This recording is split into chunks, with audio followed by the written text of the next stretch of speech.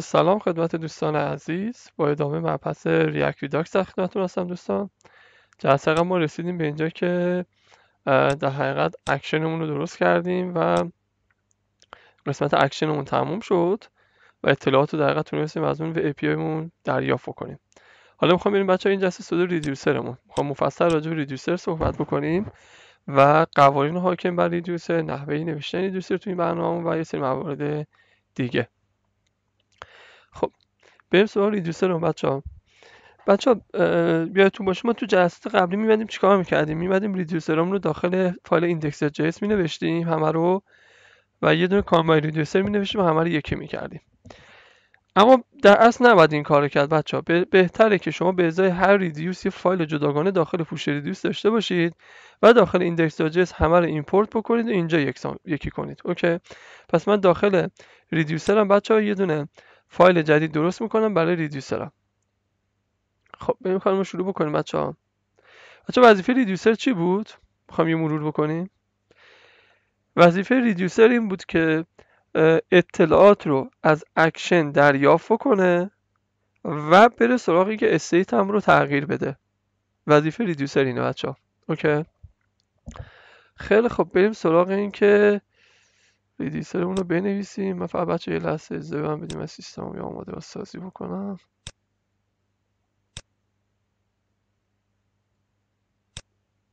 خیلی عالی. خیلی خوب درست شد. سیستم. یه فایل اینجا من درست می‌کنم. داخل ریدیوسرم بچه ها به اسم post post reducers. reducer. dot js. خب. بچه reducer قرار تو پروژه من چیکار بکنه؟ قراره که اون اکشن من که رفت از API اطلاعات رو گرفت اطلاعات پستا رو گرفت قرار اونو بگیره یه لیستی از پستا درست بکنه. کارش اینه. خب. می‌نویسم export default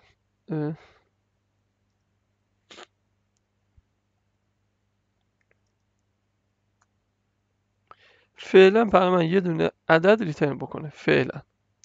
هیچ کار دیگه نمی‌کنه. حالا اینکه چرا باید return بکنه رو جلوتر بهتون میگم بچه. و میام اینجا. import ش می‌کنم. import post reducer from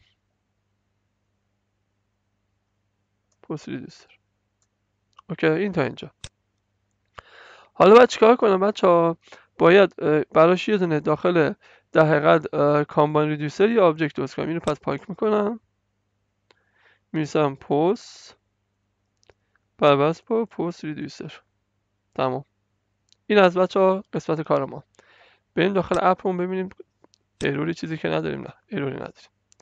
خیلی عالی. خب بریم سراغ بچه ها قوانین حاکم بر reducer. یعنی ما reducer امون چه قوانینی بهشون حاکمه؟ چه ویژگی هایی باید داشته باشن؟ خب بچه ها این قوانینی که باید بر reducer حاکم باشه بچه ها می‌خوام دونه دونه بریم مفصل راجع به هر کدوم صحبت بکنیم. یادتون باشه جلسه قبلی راجع به قوانین اکشن صحبت کردیم. این جلسه می‌خوام در رابطه با reducer صحبت کنیم.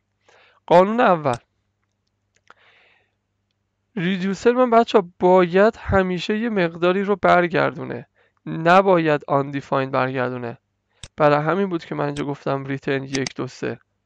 اگه این return رو بردارم ببینید بچه چه error ی میده. میگه reducer post returned undefined چرا؟ چون reducer من باید یه چیزی برگردونه نباید خالی بمونه. نباید در چیزی بر نگردونه. اینم داره بدبخت میگه میگه آقا جان موقعی که داره initialization میشه app تو reducer ت هیچی بر نمیگردونه ابتدای امر. اینو درستش بکن. بعد لزوما موقع initialization نیست هر جای برنامه اگر چیزی برنگردونه این خطا رو میده. می‌تونه وسط کار برنامه باشه اصلا.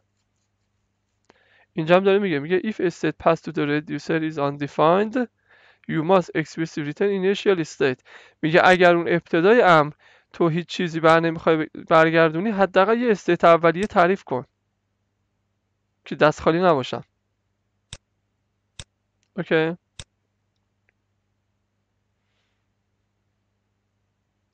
میگه اگه تو نمی‌خوای چیزی هم تعریف کنی به عنوان استیت اولیه حداقل یه مقدار نال برگردون میگه حداقل بیا اینجا بنویس ریترن نال. یا کدا چون من اینم بنویسم قبول می‌کنه بعد وقت میگه آقا دست در کنه بالاخره چیزی برگردوندی. نال هم شده بالاخره چیزی. آن دیفاین دیگه نیستش. پس مثلا قانون اول چیه؟ این که در ریدیوسر من باید یه چیزی برگردونه. خب دوستان بریم سراغ قانون دوم. قانون دوم میگه بچه ها reducer من بچه خب برای ورودیش یه action action می‌گیره و state یا نه و. پس بچه ها reducer توی ورودی خودش یا میگم یا. reducer تو ورودی خودش اکشن می‌گیره و مقدار state رو می‌گیره. فقط با این دوتا کار داره. یعنی reducer با چیز دیگه کار نداره. state و اکشن حالا این یعنی چی؟ بریم یه عکس بهتون بیارم نشون بدم بچه ها خب بچه این عکس رو نگاه کنید. زمانی که برای بار اول component من میاد بالا برای بار اول بچه ها reducer من قرار دو تا ورودی بگیره. یه دونه state بگیره یه دونه اکشن خب این هم اکشن این state حالا نکته که وجود داره که بچه ها اون لحظه اول اون بار اول اکشن من چیه و state من چیه؟ بریم مثال بزنیم. تا این پروژه قبلی که بچه ها انجام دادیم یادتونه؟ یه لیستی از آهنگا رو نشون می‌دادیم یه کاربر میمد کلیک می‌کرد یکیشو select می‌کرد انتخاب می‌شد.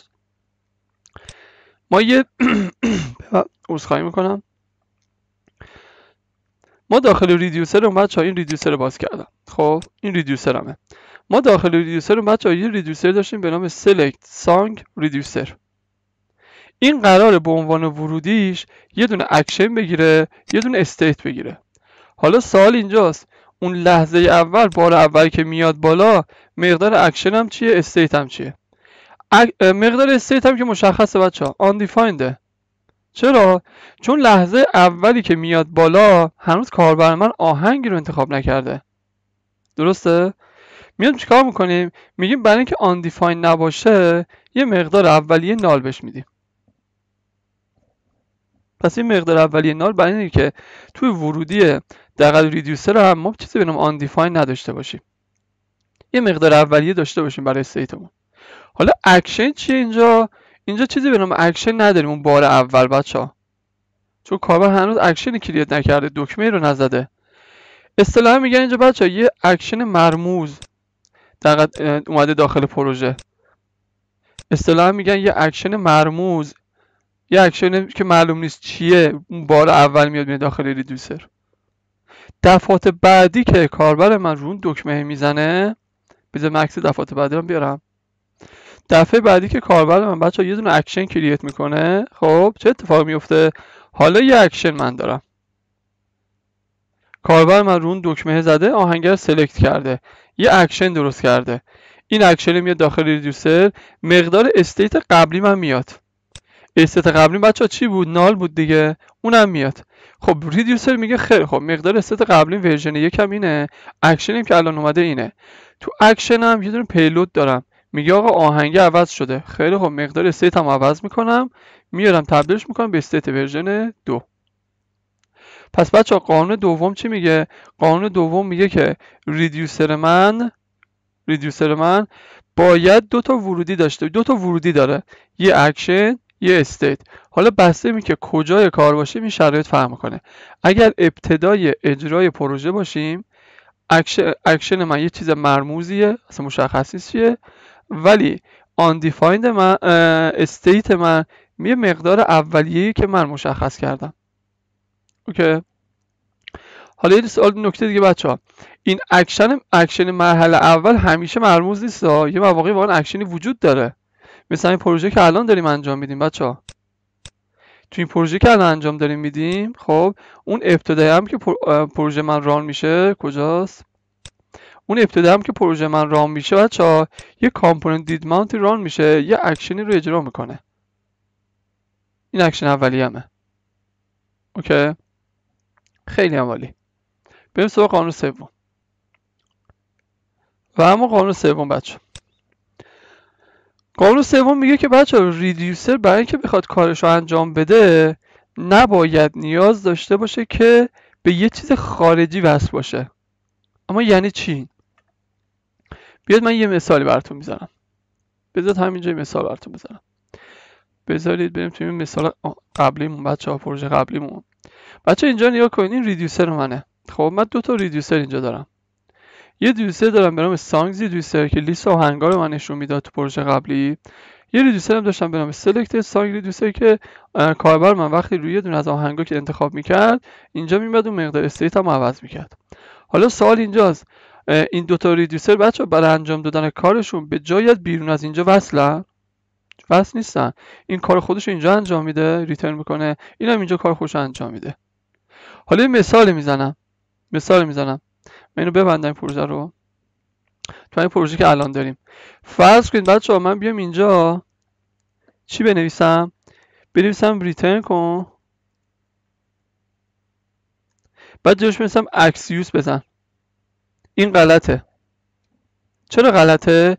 داخل ریدیوسر ما هیچ وقت ریدیوسر نباید بره بیرون از خودش.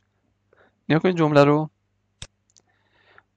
Return reach out of itself to decide what value to return میگه نباید برای اینکه تصمیم بگیره چه مقداری رو برگردونه به بیرون از خودش نگاه بکنه. اصطلاحا باید ریدیوسر بچه خالص باشه. پیور باشه. یعنی نباید متوسل باشه به یه دیتای بیرونی.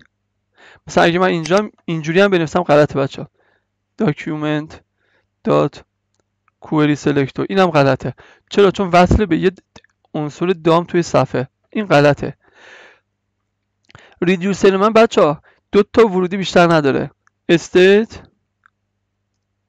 action همین دوتا ورودی رو داره.